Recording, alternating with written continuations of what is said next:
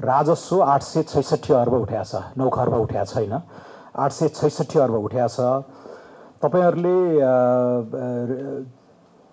एक महिना अघि मात्रै बजेटमा एघार सय अस्सी उठाउँछु भन्नुभएको छ। अब बाह्र दिन बाँकी छ आर्थिक वर्ष सकिनलाई हाम्रो औसत उठाइ तिन अरब जति हुन्छ। अब अर्को बाह्र दिनमा अस्ति भर्खर संशोधन गरेको केवल एक महिना अगाडि म एक वर्ष अगाडिको प्रक्षेपण होइन एक महिना अगाडिको टार्गेटलाई मात्रै हेर्दा पनि घटाइएको संशोधित अनुमानलाई हेर्दा पनि दिनमा छब्बिस अरब उठाउनु पर्ने हुन्छ। भनेपछि यो पन्ध्र दिन तिस दिन चालिस दिनको पनि हामीले प्रक्षेपण गर्न नसक्या हो कि कि अर्को बाह्र दिनमा केही चमत्कार हुँदैछ? त्यसमा अलिकति जानकारी पाऊँ।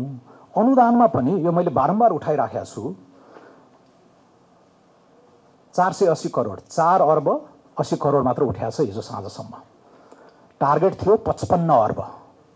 ल पचपन्न अर्ब त एकदमै आशावादी भएर हामीले पोहोर राख्यौँ एक वर्ष अगाडि राख्यौँ। तर एक महिना अगाडि पनि तपाईँहरूले अडतिस अरब त आउँछ भन्नुभएको छ।